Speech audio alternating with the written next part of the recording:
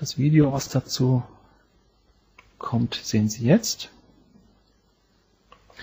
Also wir haben hier eine Demo vorbereitet, wo wir das GSM-Kit ähm, angeschlossen haben. Sie sehen dann auf der ähm, linken Seite den Monitor, der mit dem Kit auf der linken Seite verbunden ist. Wir verwenden hier ausschließlich äh, für diese Demo das Master Kit auf der linken unteren Seite. Das rechte, der Empfänger ist hier nicht angeschlossen. Wir nehmen jetzt die Initialisierung der Kits vor. Vorab zeigen wir Ihnen noch die Nachricht, die wir dann auf dem Ranger ähm, EDK sehen werden, beziehungsweise die wir übertragen werden. Ranger Webinar 2012.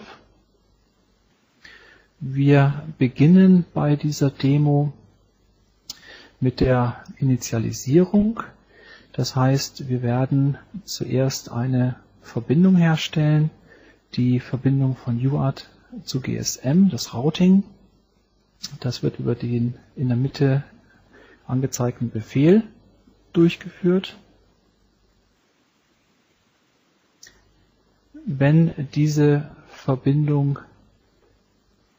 hier sehen Sie, wie wir diesen Befehl übertragen und dann abschicken werden, da wird mit einem OK bestätigt. Damit ist dann die Verbindung hergestellt. Wir nehmen jetzt die Konfiguration des GSM-Moduls über AT-Kommandos vor. Wir haben verschiedenste AT-Kommandos, die wir vorab eingeben. Das erste AT-Kommando bezieht sich auf die Abfrage nach dem PIN. Ist ein PIN notwendig? Die PIN-Abfrage erfolgt dann jetzt.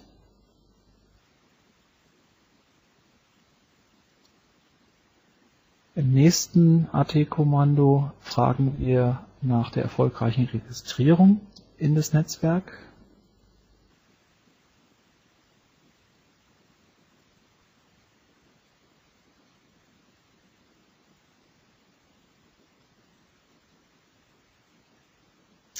Registrierung war erfolgreich.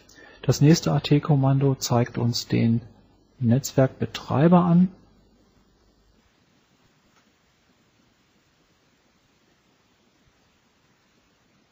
Hier sehen Sie dann, dass wir uns in dem O2-Netz befinden.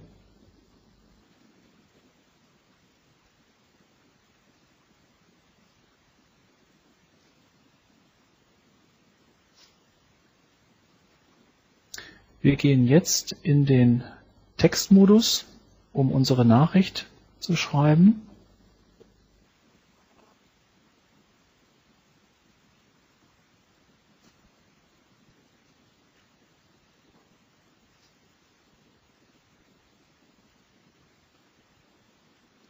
Wir fragen jetzt nach, der, nach dem Vorhandensein eventueller noch nicht gelesener Nachrichten.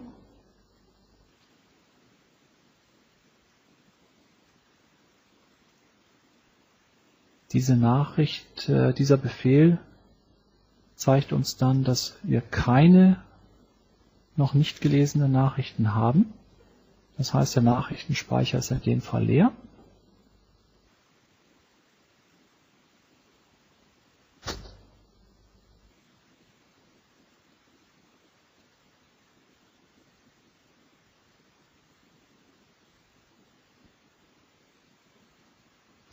Und wir werden jetzt, hier sehen Sie nochmal die Bestätigung, dass keine ungelesenen Nachrichten vorliegen. Wir werden dann im Anschluss die Textnachricht von unserem Smartphone verschicken.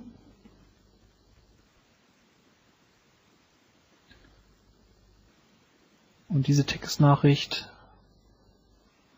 kommt dann auf unserem Terminal an.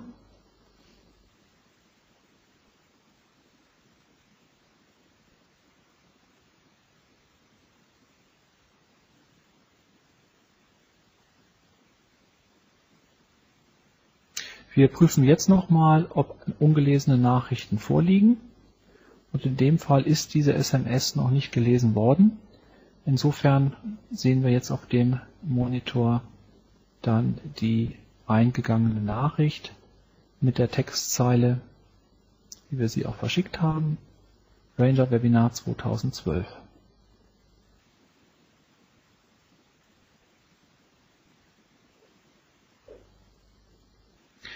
Die zweite Applikation, die wir Ihnen zeigen werden, ist, dass wir die Initialisierung über ein Android-Phone, über die Bluetooth-Schnittstelle durchführen. Das heißt, wir werden einen Befehl UART Bluetooth absetzen. Damit installieren wir das Routing zwischen Bluetooth und der UART-Schnittstelle.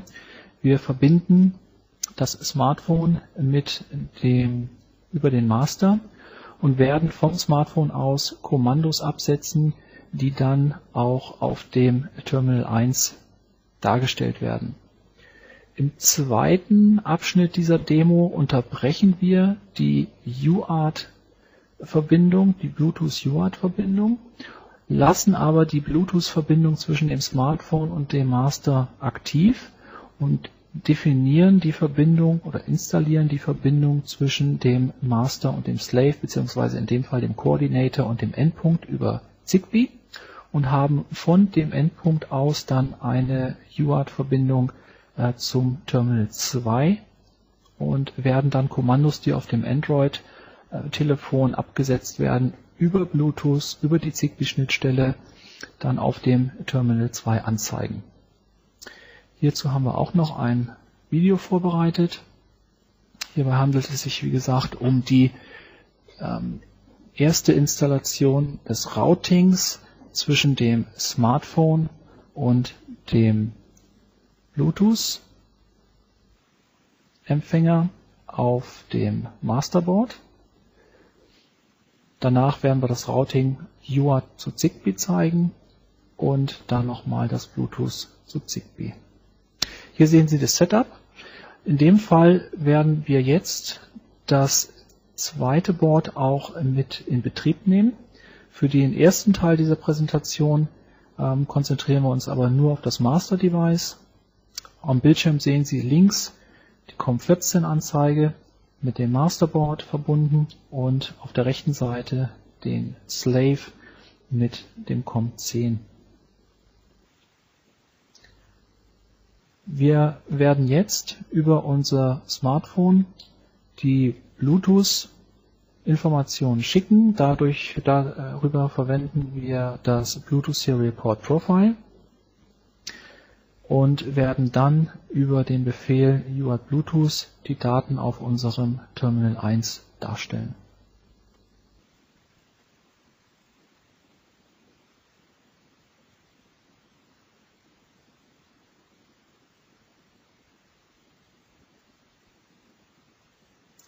Wir haben jetzt einen etwas genaueren Blick auf unser Terminal 1 Fenster. Wir initialisieren nun das Routing zwischen Bluetooth und UART.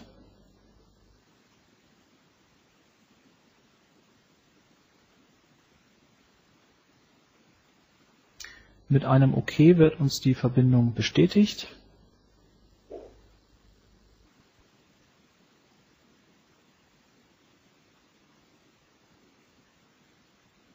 Wir haben jetzt erfolgreich die Verbindung zwischen Bluetooth und UART hergestellt und werden jetzt die Verbindung zwischen dem Bluetooth-Telefon und unserem Master herstellen. Und diese Verbindung erfolgt dann über, die, über das Profile SPP. wir verbinden jetzt das Bluetooth-Telefon, das Smartphone mit unserem Bluetooth Master. Die Verbindung wurde erfolgreich hergestellt und wir haben jetzt die Möglichkeit, Tastendrücke, in dem Fall wäre es zum Beispiel eine Steuerung ähm, eines Lichtelementes oder auch eines Summers, die einzelnen Tastendrücke von unserem Smartphone über die Bluetooth-Schnittstelle am Terminal anzeigen zu lassen. Was wir im zweiten Schritt durchführen werden, ist, wir unterbrechen die Verbindung zwischen Bluetooth und UART.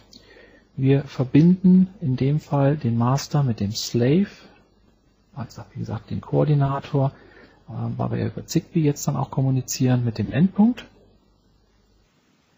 Das heißt, die Verbindung wird unterbrochen. Wichtig ist, dass die Bluetooth-Verbindung zwischen dem Telefon und dem Bluetooth Master weiterhin besteht. Wir stellen jetzt das Routing zwischen Bluetooth und Zigbee her.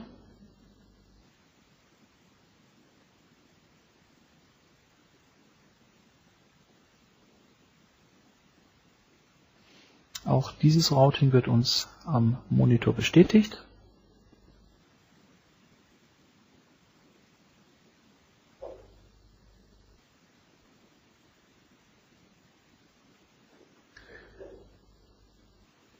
Im nächsten Schritt nehmen wir dann den Endpunkt in Betrieb. Wir erstellen jetzt das Routing für den Endpunkt zwischen UART und Zigbee.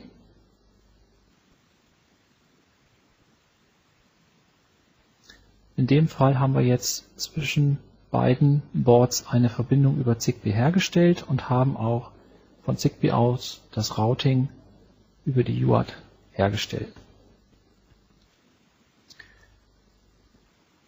Wie erwähnt, es ist immer noch die Bluetooth-Verbindung zwischen dem Telefon und dem Master aktiv und wir können jetzt, ähnlich wie im ersten Teil der Demo, über die Tastendrücke auf dem Smartphone ähm, über Bluetooth, über die Zigbee-Schnittstelle diese Daten über unseren Endpunkt auch anzeigen lassen. Das heißt, hier haben Sie also ein klassisches Routing der Daten von Bluetooth zu Zigbee.